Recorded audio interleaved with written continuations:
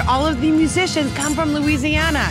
And it's only like $10 a day. It's amazing and it's so much fun. It's something new for me. It's really atmospheric. I feel like I'm back in Belle Chasse. The food's great, the culture's great.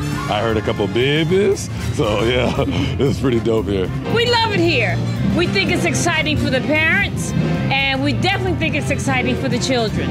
Oh, the food has been really good. I've been bopping around to all the different food tents. I've had a couple of their handcrafted cocktails. I had alligator on a stick. Jambalaya. Beignets. It's delicious. Everything's seasoned really well, which we especially love in Louisiana. So I'm impressed.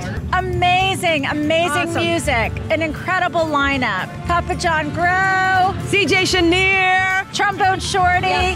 The music was great. We were listening to a band earlier and dancing. It was so much fun. It's been a really great day, so it's livening up the crowd, Yeah. getting people moving. It was really nice. And even though it's raining, it's like the vibe is still there. Like we're still enjoying ourselves. We're still like jamming out and stuff. So it's pretty cool. Though it's gray, we're still having a great day. This is my first time doing an event in Norfolk, and the people have given Southern Hospitality a run for their money. They've been incredible, and I can't wait to come back next year.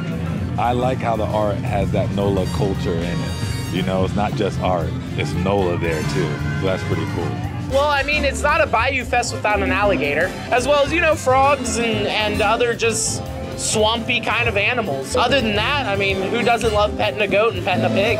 I do 300 some events a year with our zoo. This is my favorite event every single year.